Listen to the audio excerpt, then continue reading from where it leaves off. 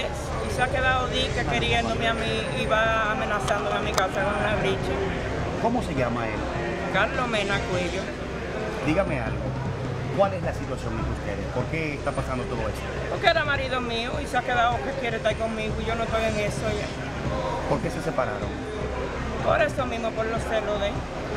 ¿Qué tiempo duraron en relación? como ocho años. Entonces, actualmente, ¿qué le dice él? Que me va a buscar para matarme. Una bricha nada más. ¿La llama, la hostiga o qué? No, yo lo tengo bloqueado, pero me llama de cualquier número de gente que encuentre en la calle. La última vez que la llamó, ¿qué le dijo? ¿Qué me va a matar? ¿Siente usted temor entonces?